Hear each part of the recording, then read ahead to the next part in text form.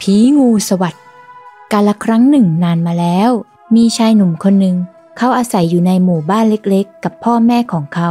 ชายหนุ่มทำอาชีพเป็นคนหาของป่าขาย เขามักจะเข้าไปในป่าทุกวัน วันหนึ่ง ชายหนุ่มป่วย เขาเริ่มมีไข้และรู้สึกหนาวมาก ผิวของเขาก็เริ่มขึ้นผื่น พ่อแม่ของชายหนุ่มพาเขาไปพบแพทย์ แพทย์วินิจฉัยว่าชายหนุ่มเป็นงูสวัสด์งูสวัสด์ เป็นโรคที่ทำให้เกิดผื่นแดงและเจ็บปวด ผื่นมักปรากฏขึ้นที่ด้านข้างลำตัว อาจเกิดขึ้นได้ทุกที่บนร่างกาย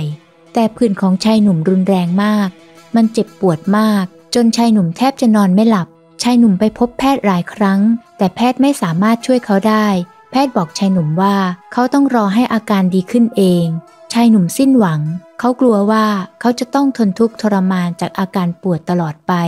วันหนึ่งชายหนุ่มกำลังนั่งอยู่ใต้ต้นไม้ ด้วยความเศร้าและสิ้นหวัง ทันใดนั้นเขาก็เห็นชายชาราคนหนึ่งเดินมาหาเขา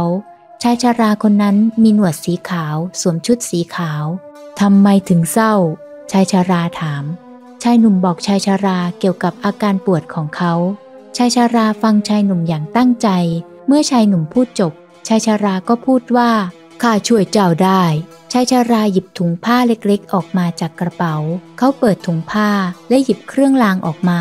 เครื่องรางทำจากกระดูกสัตว์และขนนก ชายชาราแขวนเครื่องรางไว้ที่คอของชายหนุ่ม เครื่องรางนี้จะปกป้องเจ้าจากวิญญาณร้าย ชายชาราพูด มันจะช่วยให้เจ้าหายจากอาการปวด ชายหนุ่มขอบคุณชายชารา ชายชาราพูดว่า ไม่ต้องขอบคุณ นี่เป็นเพียงแค่บรรเทาอาการได้เท่านั้น หากเจ้าไม่รีบรักษา เมื่อผื่นลามจนรอบเอวเมื่อไหร่ เมื่อนั้นเจ้าจะต้องตายชายชาราแนะนำให้ชายหนุ่มไปหาพระ แล้วทำพิธีขอขมากับเจ้ากรรมนายเวรที่เคยล่วงเกิน แล้วชายชาราก็เดินจากไป ชายหนุ่มจึงทำตามที่ชายชาราแนะนำเขาไปหาพระที่วัด พระได้ทำสมาธิแล้วบอกกับชายหนุ่มว่า มีวิญญาณผีงูได้ติดตามชายหนุ่มมา และจะเอาชีวิตเขา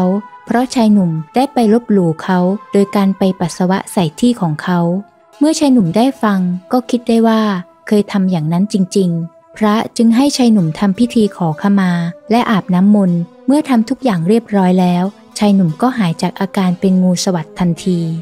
นิทานเรื่องนี้สอนให้รู้ว่า ไม่เชื่ออย่าลบหลู่